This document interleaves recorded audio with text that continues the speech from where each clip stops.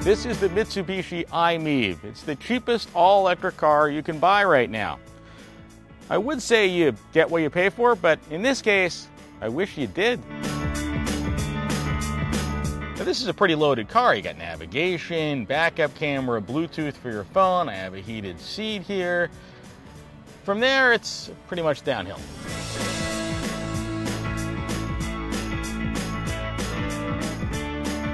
This interior is pretty chintzy, I gotta say.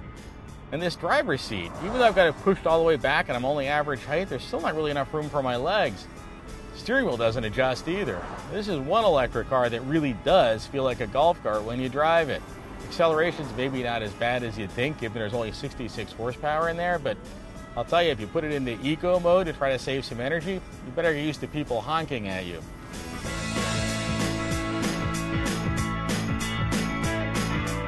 Is cheap, right? Well, in this case, cheap means $35,000. I mean, for $35,000, that's ridiculous. I mean, yes, there is a tax rebate that'll take your final money down to about 27,500. Still, for a few thousand dollars more, you could get a car from another manufacturer that actually put the effort into a plug-in vehicle you'd like to own.